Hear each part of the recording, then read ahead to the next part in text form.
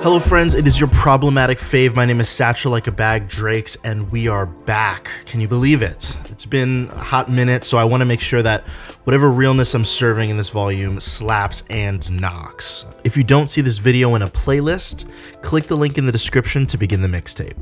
I hope everyone in the States had a wonderful Independence Day. I hope everyone outside of the States, you're doing your thing and everything's swell. Um, I was down in Philadelphia for the holiday with somebody that some of you might be familiar with. That's Paul Ritchie from Continue. Um, we had some Mediterranean skewers. It was delicious. That was my terrible Hannibal Buress impression. It was delicious.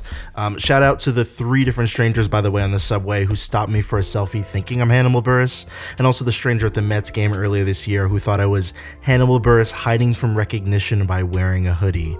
Um, I hate all y'all.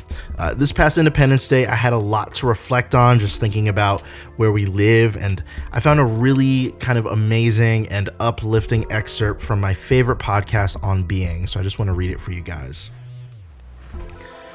America has always been a mess. It has always been full of contradictions. There's always been graft and greed and injustice throughout this huge country, um, but it has always been correctable, and it still is correctable.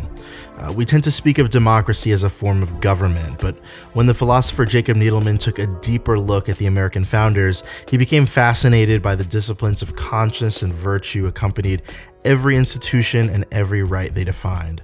Uh, these are wonderful things to rediscover in this moment. Democracy is a work in progress around the world, and it is clear as ever that America is an ongoing experiment. I found that to be pretty um, uplifting. With that being said, let's dive into this mixtape. Uh, first on the docket, we have Tsu or Japanese Smiley by Makurosu8299.